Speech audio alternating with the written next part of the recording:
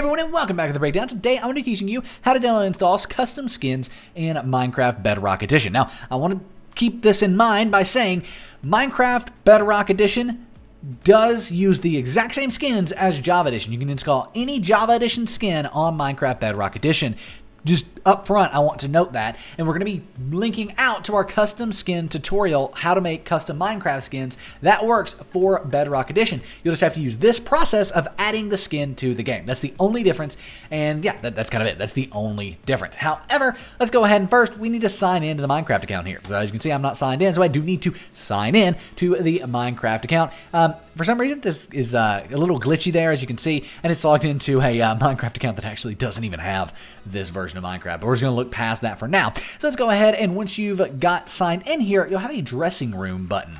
Go ahead and click on that, and in here is where you can change your skin. Now, there are, you know, skins that you can purchase, but we don't want to do that. We want to download some for free or create our own. To do that, we want to go to the links in the description. The first one will take you here. This is basically a big old website with tons of different Minecraft skin options. We also, however, have this tutorial in the description. And this is the one I was talking about, how to make a skin, create a custom Minecraft skin. We have this in-depth tutorial, text tutorial here, and we have this in-depth video tutorial. Both are absolutely incredible and great, and we'll show you how to create a skin using the Minecraft skin editor here, where you can do and draw and do whatever you want to with the skin. You can do anything with this. So after you have created your skin, you will download your skin using this download button here. It'll download in the bottom left, right like so. However, just to uh, make it look a bit better than just random lines and dots put on a skin, we're going to download something here like a knight, right? So you can download a knight skin, K-I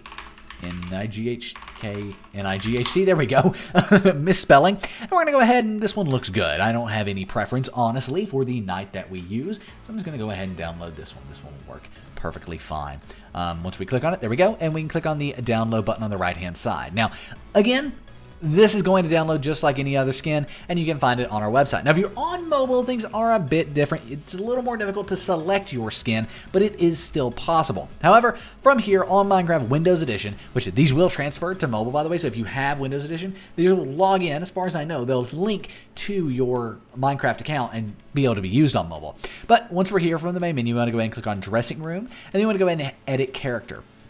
Then, from here, it still looks like you can't use a custom skin, right? It just doesn't look like. You can click on these styles and tops and all this stuff. It still looks like you can't use a custom skin. But what you can do is come over here to like this area, and then click on owned, and then click on import. Now, as you can see, I already have a skin chosen here. This is my custom skin.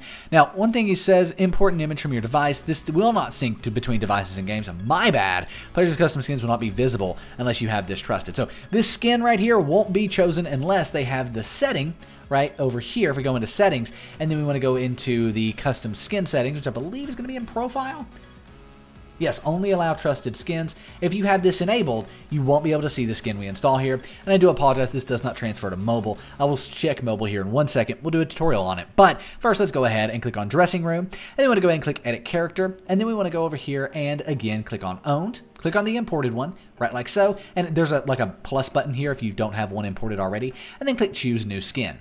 Then what we can do is go to our desktop, where we'll have those skins in one second. Have to pull these from our Downloads folder, by the way, and then we can go ahead and double click on the knight here. As you can see, it looks really, really good, right like so. You can select which skin type you want, basically the Alex or the Steve skin, and here we go. It is now in game, and if we jump into a quick little single player world here, We'll just jump into our test survival. You'll be able to see that the skin is in fact working. So that's how you can add a skin. Um, this is in creative, so let's go into game mode.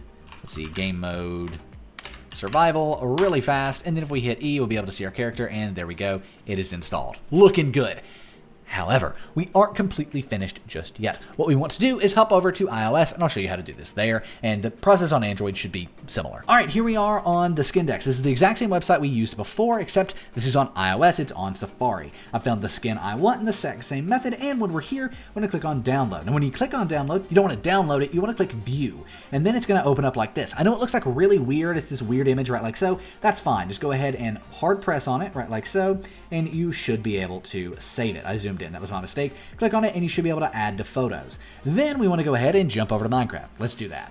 So here we are in Minecraft, and just like on desktop, you do need to be logged in. Once you've signed into your Microsoft account, though, you can go ahead and click Dressing Room, and then from there, we want to go ahead and click Edit Character. Then we want to, again, come over here to this little button, click on Owned, and click Import. Then we want to go ahead and choose a new skin. So you're going to open up your basically iOS settings like this. Once you're here, you want to go ahead and select the skin you want, and it's going to open it in-game. Choose the character model you want. Either one is perfectly fine. And then there you go. Now the skin is in-game. If we go back to the main menu, we'll see there's the skin, and of course we can jump in game and open up our inventory to see the skin as well. All right, so here we are in game, as you can see, looking good. We can go ahead and open up, and there we are on the right hand side in our new skin. Now again, just like on, you know, basically any other Minecraft Bedrock Edition, you will have to come down here and go into the profile right here and make sure that I'll only allow trusted skins is unchecked.